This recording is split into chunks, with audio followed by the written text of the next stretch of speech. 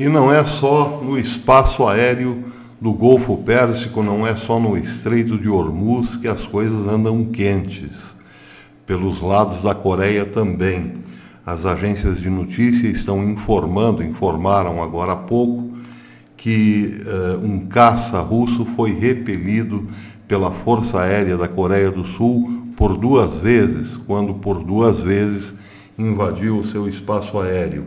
A Infobae diz que as forças de defesa da Coreia do Sul efetuaram disparos de alerta contra uma aeronave russa que eh, violou seu espaço aéreo por duas oportunidades, afirmou um oficial do Estado-Maior Conjunto das Forças Armadas Sul-Coreanas.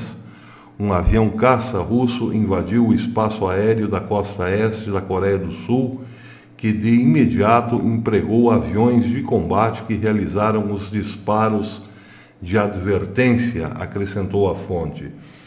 De acordo com o funcionário, é a primeira vez, de acordo com o militar, é a primeira vez que uma aeronave russa viola o espaço aéreo sul-coreano e é advertida com disparos. Na metade de junho, o espaço aéreo da Coreia já tinha sido invadido por um bombardeio russo. Porém, naquela ocasião não houve disparos de advertência, informa a matéria. Pois é, situação quente aqui, situação quente acolá. Agora, a pergunta, a pergunta que não quer calar. O que faziam dois caças russos, ou melhor, o que fazia um caça russo lá no espaço aéreo sul-coreano, ou melhor, por que um caça russo entrou duas vezes no espaço aéreo sul-coreano. Foi advertido uma vez, voltou e foi repelido a bala. Pois é, o que faziam os russos lá? E não é a primeira vez.